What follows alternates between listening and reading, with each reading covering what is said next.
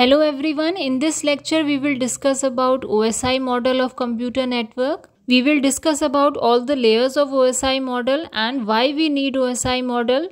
We will discuss in detail. So let's start the video. Full form of OSI model is Open System Interconnection Model. It is a virtual model.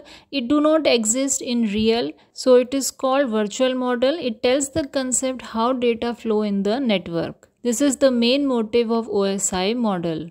It is developed by ISO, International Organization of Standardization in 1984. It is the seven layer architecture because it consists of seven layers. We will discuss all the layers in this video. Physical layer, data link layer, network layer and till application layer. First we will understand why we need OSI model. We need OSI model to perform some functions. These functions are very necessary for the data that is flowing in the network. In network, data is sent by sender to receiver. There should be some standard and protocol by which data is transferred so that the data that is sent by sender, exactly the same data should be received by the receiver. For this we need OSI model. Sender will send the data, it will follow some protocols.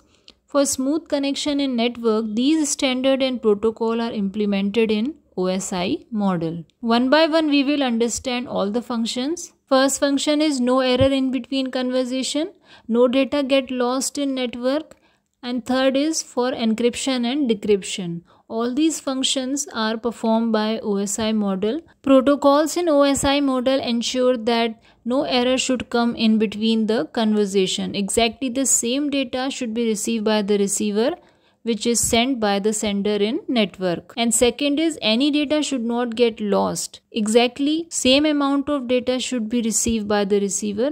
No data should be missed in between. It also ensures encryption and decryption which is also called cryptography.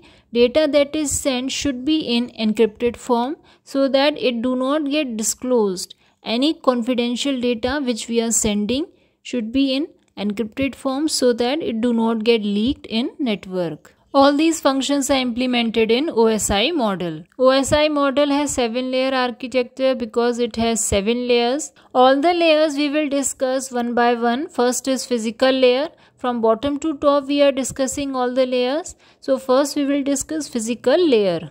Physical layer is the first layer of the OSI model and it is the lowest layer of the OSI model. It is connected to the hardware. It is store all the data in the form of bits. This layer defines the hardware, cabling, wiring, power, output, etc. It is connected to the hardware through the wiring. Therefore, it is called the basic layer of the OSI model. Next, we will discuss the data link layer. Next layer is the data link layer. It sends data from physical layer to network layer. It also performs node to node delivery. It ensures that the data is error free. It means the data link layer ensures that whatever the data that is sent in network is error free. No error should come in between the data. In this layer, data is in the form of frames. This layer read and write the data so all the link errors are detected at this layer. On every node, it checks that the data is sent correctly. So it performs node to node delivery. The third layer is network layer. In this layer, routing of packets from source host to destination host takes place means the movement of packets from source to destination takes place in this layer. This layer is responsible for address assignment and uniquely addressing host in a network. In network layer, data is divided in the form of packets. Next layer, the fourth layer is transport layer. It is the heart of OSI model. This is the main layer of the OSI model that separates all the above layers with the bottom layers of OSI model. In this layer, data is in the form of segments.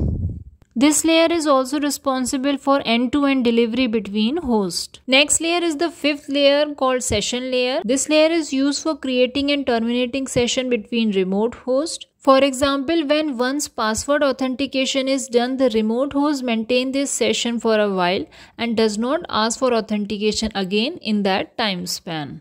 Next layer is the sixth layer called presentation layer. It convert data into standard format. This layer defines how the data should be represented to the user. It also perform encryption and decryption. The data that is sent in the network is in encrypted form and when it is received by the receiver, it is in the decrypted form so that user can understand it easily. Next layer is the last layer, seventh layer called application layer. This layer is responsible for providing interface to the application user. This layer consists of protocols which directly interact with user.